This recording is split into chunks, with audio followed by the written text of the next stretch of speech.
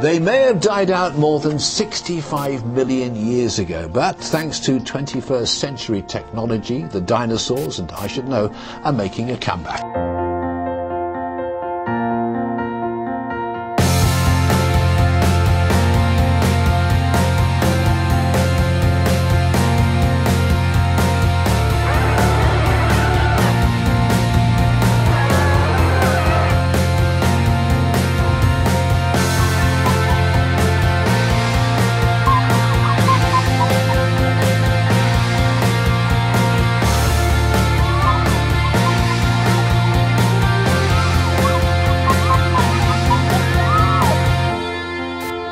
Dinosaur fossils are being uncovered all the time.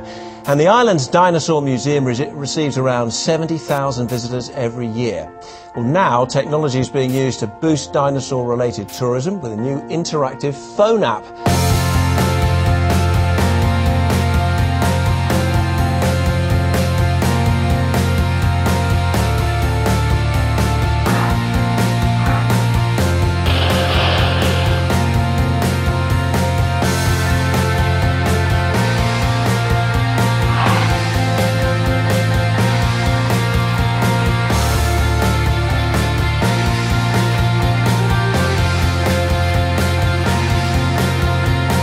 What we're launching today is the first time that dinosaurs are walking on this planet for 100 million years.